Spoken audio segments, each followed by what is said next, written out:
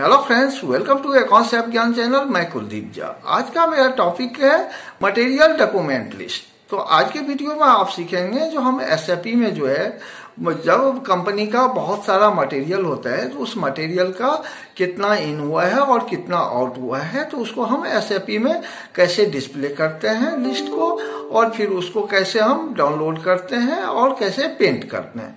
तो आज के वीडियो में आप ये सारी चीज़ सीखेंगे। तो आगे बढ़ने से पहले कौन से आप ज्ञान चैनल को सब्सक्राइब कर लें। यदि आज का वीडियो आपको पसंद आए तो उसको लाइक और शेयर ज़रूर करें। और सब्सक्राइब करना बिल्कुल ना भूलें। तो सबसे पहले जो है ना, हमें मटेरियल डॉक्यूमेंट लिस्ट देखने के लिए जो ट्रांजेक्शन कोड है एम बी फिफ्टी वन ये डालने के बाद आप सबको सबसे पहले मटेरियल कोड डालना है कि जो आपको कौन सा मटेरियल जो है वो देखना है। अब इसमें जो है हमें ये देखना हो, क्या होता है कंपनी में बहुत सारा मटेरियल होता है और जब मटेरियल कंपनी में इन होता है तो कितना मटेरियल हमारे स्टॉक में इन हुआ और वो मटेरियल कैसे कैसे करके आउट हुआ है। तो वो लिस्ट जो है हम एम बी फिफ्टी वन के थ्रू देखते हैं। तो उसी चीज़ को हम आपको दिखा रहे हैं कि कैसे हम देखते हैं। तो सबसे पहले मटेरियल कोड में आपका जो मटेरियल कोड होगा, वो डालना है। मटेरियल कोड डालने के बाद आपका जो प्लांट कोड है, वो प्लांट कोड यहाँ पे लिखना है। और फिर आपके पास अगर आपको कस्टमर वाइज देखना है या आपको वेंडर कोड वाइज देखना है तो ये सब ऑप्शन है। ये कोड दे के भी आप देख सकते हैं इसके साथ। अगर अन्यथा, आप सीधा मटेरियल कोड दीजिए और साथ में प्लांट कोड और इसको फिर एग्जीक्यूट करिए या एप एड की दबाते हैं। अब देखिए, हम ये कर दिए ये हमारा मटेरियल पूरा डिस्प्ले हो गया डिटेल उसका। अब इसमें स्टोरेज लोकेशन उसका क्या है मटेरियल का डॉक्यूमेंट नंबर क्या है, उसके बाद उसका रेफरेंस क्या है डॉक्यूमेंट डेट क्या है पोस्टिंग डेट क्या है, फिर उसका जो है सो उसका मटेरियल डिस्क्रिप्शन क्या है पीओ डिस्क्रिप्शन क्या है, उसका परचेज कॉस्ट क्या है, उसके बाद उसका प्लांट कोड क्या है, ये सारे उसका, देखिए, आपके स्क्रीन पे पढ़ के आप देख सकते हैं कि एंट्री डेट क्या है, कब, किस टाइम में एंट्री हुआ तो ये सारे डिटेल हो गया। अब ये तो आप इस तरह से देख लिए कि हमारा ये डिटेल है। अब इसमें आप देखिए कि यहाँ पे हम क्या कर रहे हैं, सबसे पहले पोस्टिंग डेट पे जो है सो इसको असेंडिंग या डिसेंडिंग ऑर्डर में इसको फिर सेट कर लेते हैं। तो देखिए, हम असेंडिंग ऑर्डर में इसको करते हैं। अब ये देखिए, सबसे पहला हमारा जो है सो स्टॉक जो है, दो आया था। ये देखिए, इसका जो है, ये वेंडर कोड ये था। इसका जो है सो ये परचेज ऑर्डर है, ये इसका डिस्क्रिप्शन है, और ये टोटल क्वांटिटी टू आया। अब ये दो क्वांटिटी आया, और फिर देखिए, ये माइनस ये जो प्लस में है वो मटेरियल इन हुआ है कंपनी में स्टॉक में, और जहाँ पे माइनस वन वन करके आ रहा है, वो मटेरियल जो है आउट हुआ है, वो सेल हुआ है, वो सेल वाला क्वांटिटी है। तो सबसे पहले आपको ये चीज़ समझना है कि प्लस मटेरियल इनका प्लस में रहेगा आउट का माइनस में रहेगा। सेल वाला आपका परचेजिंग प्लस में और सेल माइनस में रहेगा। कॉन्सेप्ट आपका ये रखना है। फिर जाके आपको जो है, देखिए, फिर जब ये दो पीस थे, दो पीस इनका सेल हो गया। फिर इन्होंने जो है, फिर जो है स्टॉक में मंगवाया ट्वेंटी पीस फिर जाके जो है सो ये फिर देखिए वन वन क्वांटिटी करके सेल होते गया सेल होते होते होते। फिर जाके इन्होंने मंगाया फोर्टी क्वांटिटी इसी तरह से यहाँ पे आप देखेंगे तो सारे जो है मटेरियल कितना इन हुआ और कितना सेल हुआ। तो ये सारे डेट वाइज यहाँ पे टोटल डिटेल यहाँ पे अवेलेबल है। तो सबसे पहले हमने मटेरियल डिस्प्ले का काम कर लिया। अब इसी मटेरियल को अगर यहाँ पे मान लीजिए मैंने एक क्वांटिटी डाला है। अगर हमें एक बार में अगर मान लो 2000 4000 लाइन आइटम रहेगा तो वहाँ पे आपको एक एक देखना दिक्कत होता है। तो हमें डाउनलोड करना है और ये उसको या प्रिंट करना है। ये दो ऑप्शन बचता है जिससे हार्ड कॉपी में आपको आ जाएगा। प्रिंट करने पे और सॉफ्ट कॉपी में डाउनलोड कर लेंगे एक्सल फॉर्मेट में। तो उसके लिए डिस्प्ले करने के बाद हमें अगर इसको प्रिंट करना है तो आपको क्या करना है? प्रिंट पे क्लिक करना है और फिर यहाँ पे एल पी ज़ीरो वन दिखा दिए और सिंपल यहाँ पे आपका प्रिंटर से कनेक्ट रहेगा तो प्रिंट हो जाएगा। यहाँ कंटिन्यू करके या शिफ्ट प्लस वन भी दबा सकते हैं। ये देखिए। अब ये डायरेक्ट प्रिंट कर दिया, प्रिंटर पे भेज दिया, आपको प्रिंट हो जाएगा। तो प्रिंट में सिंपल इसी तरह से करना है, या कंट्रोल पी भी करेंगे तो यहाँ से प्रिंट ले लेगा, उसको ओके करके।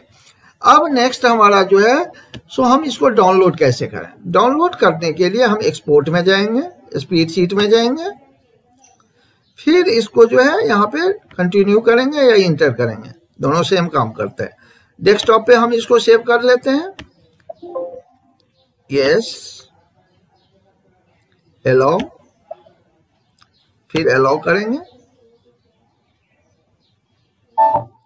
अब देखिए, ये अब आपका एक्सेल फॉर्मेट में जैसे आप एक्सेल में काम करते हैं, उस तरह से सारे इसमें आप फॉर्मेटिंग जो भी ऐड प्लस माइनस सब कर सकते हैं। अब यहाँ पे वही चीज़ हमने एक्सेल में डाउनलोड कर लिया। तो हमने तीनों काम कर लिया। सबसे पहले मटेरियल को डिस्प्ले करना सीख लिया, फिर उसको प्रिंट करना सीख लिया, और फिर उसको डाउनलोड कर लिए एक्सेल फॉर्मेट में। तो ये तो हमने एक मटेरियल का दिखाया। अब इसमें हमें ऐसा भी हो सकता है, एक बार में सौ पचास, दो सौ लाइन मटेरियल कोड भी होगा। तो उसमें आपको कुछ नहीं करना है। सिंपल सा यहाँ पे क्लिक करना है मल्टीपल सिलेक्शन पे। इसको क्लिक करने के बाद जो मान लीजिए मटेरियल कोड है, वो मटेरियल कोड आप यहाँ पे केवल पेस्ट करते जाइए, वो मटेरियल वो भी साथ में आपको एक ही साथ में लिस्ट डिस्प्ले फिर कंटिन्यू कर जितना मटेरियल है कॉपी करके और यहाँ कंट्रोल भी कर देंगे तो पेस्ट हो जाएगा। या यहाँ पे कॉपी कर लेंगे एक्सेल में अगर है तो अपलोड हम क्लिपबोर्ड और फिर कॉपी या एफ़ की दबाएँगे तो हो जाएगा। जैसे देखिए हम एफ़ या कॉपी कर दिए। वो अब यहाँ पे फिर एग्जीक्यूट कर दिए। तो वो एक मटेरियल है या जितने भी मटेरियल है, वो सारे के सारे आपको यहाँ पे डिस्प्ले कर देगा। तो अब इस तरह से हम एक से अधिक आइटम का भी हम केवल आइटम हम इसमें चेंज कर ले, रहे हैं। अब यहाँ पे देख लीजिए। आपको डिस्प्ले करके देखते जाइए। अगर आपको देखना है, देखिए ये फैब्रिक सॉफ्ट सॉफ्टनर है और ये जो है प्रोटेक्टिव कवर है, क्योंकि हमने तीन मटेरियल ही यूज़ किया है। तो इस तरह से आप बहुत सारा मटेरियल एक साथ में देके और डाउनलोड हम करते हैं कर सकते हैं। तो ये तो हमारा नंबर ऑफ़ मटेरियल कोड के लिए हो गया कि एक टाइम में हम एक से अधिक मटेरियल का स्टॉक का डिटेल हम डिस्प्ले डाउनलोड और प्रिंट तीनों कर सकते हैं। तो अगर मान लीजिए मेरे को कस्टमर का देखना है कि हमने एक कस्टमर को कितना ये सेल किया है। तो सबसे पहले हमने मटेरियल कोड डालना है, फिर प्लान कोड डालना है और जो वेंडर या कस्टमर जिसका भी आप देखना चाह रहे हैं वो वेंडर कस्टमर कोड या वेंडर कोड डाल दिए। अब इस कस्टमर को हमने कितना सेल किया है, वही डाटा केवल दिखाएगा, न कि ये स्टॉक का पूरा इन आउट का पूरा डाटा दिखाएगा, कितना परचेज हुआ और कितना सेल हुआ। तो हम केवल इस कस्टमर को कितना किया है, वो दिखाएगा, फिर एग्जीक्यूट करेंगे। अब यहाँ पे देखिए, यहाँ पे आपको केवल जो है, इस कस्टमर को जितना सेल हुआ है, वही आपको, यहाँ पे देखिए, ये कस्टमर का नाम आ गया तो ये केवल इसी कस्टमर का डाटा आपको दिखाएगा। तो इस तरह से आप जो है, एक कस्टमर वाइज या वेंडर वाइज भी आप स्टॉक देख सकते हैं। अन्यथा आपको जो है सो टोटल कितना हुआ है, एक प्लांट के अंदर में वो सारे देख सकते हैं। या आपको ये है कि हमें जो है, इस मटेरियल कोड का, आज कंपनी के अंदर में इस पच्चीस, पचास, सौ प्लांट है कोड तो आप सबका एक ही साथ देखना चाह रहे हैं तो आप वो भी देख सकते हैं तो वहाँ पे क्या करना है, आपको प्लान कोड नहीं डाल के सीधा इस पे क्लिक कर देना है एग्जीक्यूट कर देना है। तो आप ये भी ऑप्शन आपको हो सकता है कि आप डाल के देख सकते हैं। अब हमारा ये क्वेश्चन तो इस तरह से मैंने आपको दिखाया, एक पार्ट या हज़ार पार्ट जितना रहेगा आप इस तरह से डाल के डिस्प्ले करना सिखाया, फिर उसको पेंट करना सिखाया और फिर एक्सेल में उसको कन्वर्ट करके आपको एक्सेल फॉर्मेट में डाउनलोड करना सिखाया। अब ये होता है कि जो अब हमें ये है कि material code M B fifty two या एम एम बी ई और एम बी फिफ्टी वन में सब में क्या सब तो मटेरियल कोड ही डिस्प्ले का काम करते हैं तो फिर दिक्कत क्या, मैंने दोनों डिफरेंस क्या है। तो डिफरेंस सिंपल ये है कि जब आप M B fifty two use करते हैं तो वहाँ पे आपको करेंट स्टॉक स्टेटस बद दिखाता है। और ना, और इस एम बी फिफ्टी वन में जो है सो आपको कंप्लीट कितना आपने इन किया है परचेज किया है, कितना आपने एक क्वांटिटी किस किस तरह से सेल किया है क्वांटिटी वाइज किस किस डेट में, कितने, किस इनवाइस नंबर है गए तो वो सारे data complete stock detail M B fifty one में दिखाता है और इसलिए के लोग फिफ्टी वन में यूज़ करते हैं डिटेल के लिए। अगर करेंट केवल स्टॉक स्टॉक देखना है तो M B fifty two use कर सकते हैं। या आप M M B E use कर सकते डिटेल के लिए हम M B fifty one use करते हैं। बस यही है मेन डिफरेंस कि इसमें डिटेल आता है, उसमें डिटेल नहीं आता है। लेकिन करेंट स्टॉक स्टेटस उसमें भी वही होता है, यहाँ भी वही होता है, उसमें कुछ डिफर नहीं होता है। अगर है तो फिर कुछ इशू है एरर है, इसलिए कि डिफरेंस है। तो आज का वीडियो अब हम यहीं पे खत्म करते हैं, फिर मिलते हैं नया वीडियो में, नया टॉपिक के साथ में।